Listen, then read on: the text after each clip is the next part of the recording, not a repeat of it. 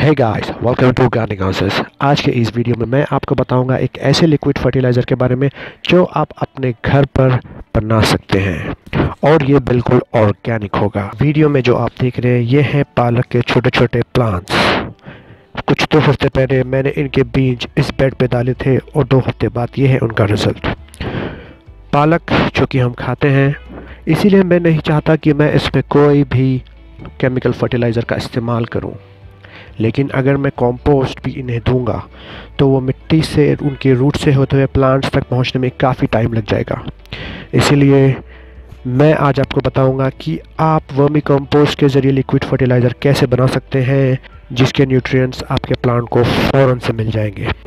चलिए अब मैं आपको बताता हूँ ये लिक्विड फर्टिलाइज़र कैसे बनाते हैं, इसका नाम क्या है, इसके फ़ायदे क्या हैं। तो गाइज़ ऑर्गेनिक लिक्विड फर्टिलाइज़र बनाने के लिए हमें चाहिए होंगे तीन चीज़ें। पहला है एक बकेट पानी और वर्मी कॉम्पोस्ट तो आज जो ऑर्गेनिक फर्टिलाइज़र हम बनाने वाले हैं, उसका नाम है कॉम्पोस्ट टी चलिए मैं बताता हूँ आपको कि ये कैसे बनाया जाता है।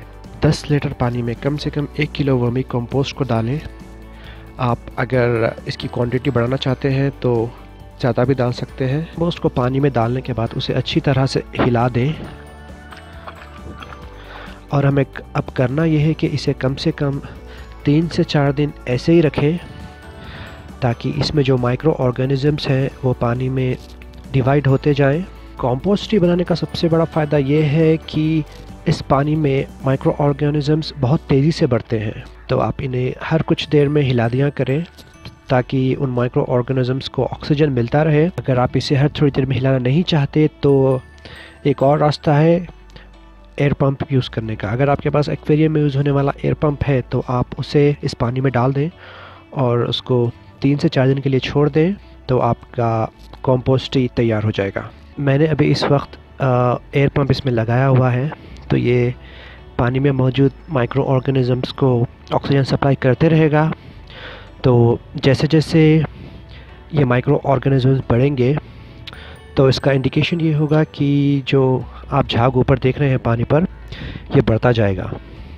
तो हम अब इसे तीन दिन बाद चेक करेंगे और देखेंगे इसके रिज़ल्ट्स है गाइस तीन दिन हो चुके हैं और अभी हमारा ऑर्गेनिक लिक्विड फर्टिलाइज़र बिल्कुल तैयार है। अभी इसे देने का तरीका ये है कि आप कोई बकेट में 10 लीटर पानी ले लें और उस 10 लीटर पानी में इस ऑर्गेनिक लिक्विड फर्टिलाइज़र का एक लीटर मिला दें और फिर इसे आप अपने प्लांट्स को दे सकते हैं। चाहे तो इसे पॉट्स में डाल दें या फिर इसका फॉलियर स्प्रे बनाकर प्लांट्स के लीव्स पर स्प्रे कर दें। तो ये था ऑर्गेनिक लिक्विड फर्टिलाइज़र के बारे में। अभी के लिए इतना ही।